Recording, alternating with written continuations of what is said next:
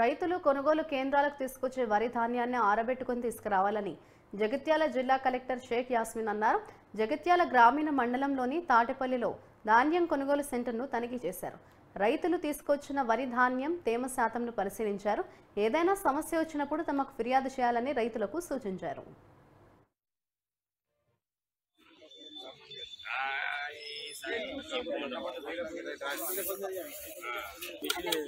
RBI కట్టేసుకోండి దానికి సప్పుడు వెళ్ళాలి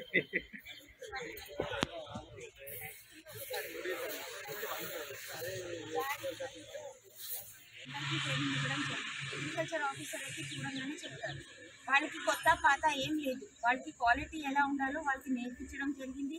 ట్రైనింగ్ అవ్వడం జరిగింది. చూడంగానే చెప్తారు కానీ ఒక రైతుకి చెప్పాను నాకెందుకు చెప్పిండు ఆయనకి ఎందుకు చెప్పలేదంటే దాంట్లో తేడా ఉంటేనే చెప్తారు అది మాత్రం మీకు తెలుసు.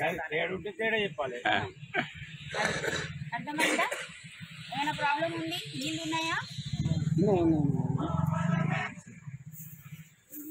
పెద్ద పెద్ద ఇట్రండి ఈయన పెద్ద ఆయన? రైతే రైతే అందరు. అందరు దయచేసి ఇంట్లో కూర్చోండి.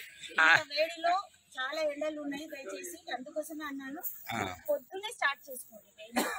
గంటలు ఆరు గంటలు కూడా ఎండ ఎక్కువ ఉంది ఆరు గంటల నుంచి పదకొండు పదకొండున్నర. దాని తర్వాత వేమింగ్ చేయొద్దు చాలా ఎండలు ఉన్నాయి. దయచేసి మీ హెల్త్ కాపాడుకోవాలి. వాళ్ళ హెల్త్ కూడా పాపం ఒక నెల పాటు వాళ్ళు పని చేయాలి మీరు కూడా చేయాలి. మీది ఆ వారం రోజులకి అయిపోతుంది. వాళ్ళు నెల రోజులు పని చేయాలి కాబట్టి మిట్ట మధ్యాహ్నం చేయకండి. ఈ four o'clock four thirty తర్వాత మళ్ళీ స్టార్ట్ చేయండి.